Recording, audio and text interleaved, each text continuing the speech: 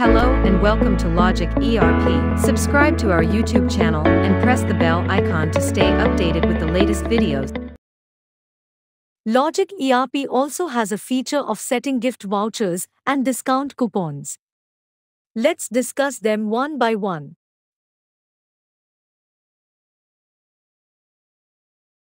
Simply give a prefix for the gift voucher and enter the range.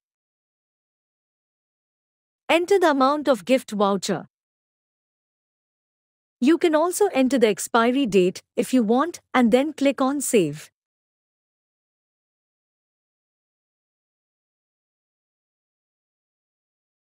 Fifteen gift vouchers of 500 rupees each have been created.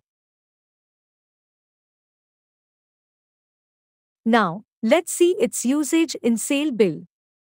Suppose a customer has presented a gift voucher. It will be adjusted in payment window. Click on gift voucher and select one voucher.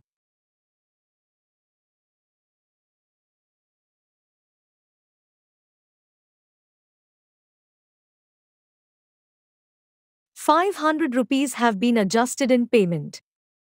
Rest of the bill amount can be paid in cash or any other method.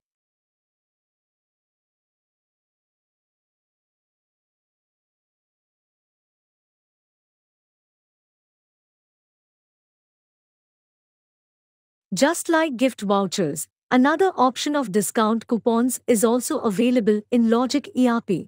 Discount coupons can be in form of both percentage and amount.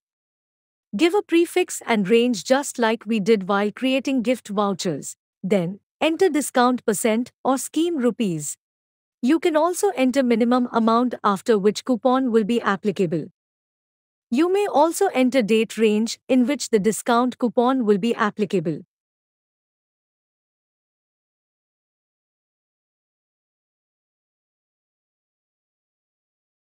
Here, 20 discount coupons have been created.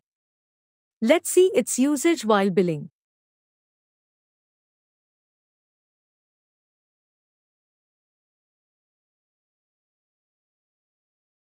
Suppose a customer has presented a discount coupon.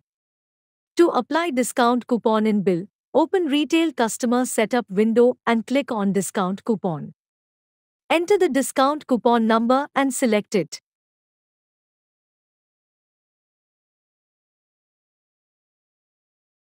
As you can observe, 15% discount has been applied in bill.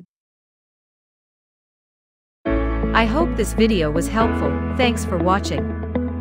Like, share and subscribe.